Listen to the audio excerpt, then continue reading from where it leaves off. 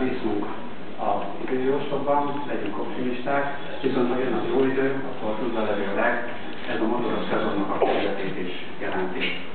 A motoros szezon kezdet motorozásra, motorosokkal különös veszélyeket jelent, jóval többet, mint egyébként a nyári hónapokban, mert ekkor sokan még felkészületlenül nem eléggé fölkészített motorral a saját képességeket se újították fel a motorosok, úgy mennek a forgalomban, simán adóznak a veszélyek. Azt mondom, hogy a mai motoros sajtótájékoztatónak autentikusabb helyszínt nem lehet képzelni, mint ez a szalon.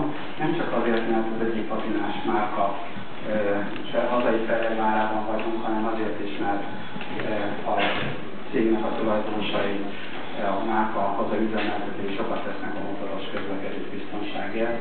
Ugyanis az Óceán volt a Sősi Fesztiválokon, hosszú évek óta preventív programok is vannak a repertoárban. Hirdettük meg 2010-ben a motorkerékpáros karta mozgalmat, ott indult útjára a motorosok tisztparancsolata, amelyet egyébként, ha csak jobbra tekintenek, ott felfüggesztően láthatnak, hogy miről szól a tisztparancsolat, azokat a legfontosabb szabályt tartalmaz a motorosok részére, a karta pedig egy, egy csatlakozási lehetőség, egy mozgalom, ehhez mindenki csatlakozhat, aki a motorozásnak a a biztonság kérdését kívüljének érzi. Nem arról tovább a szó, ismertetném a mai sajtótájékoztató három fő feletét.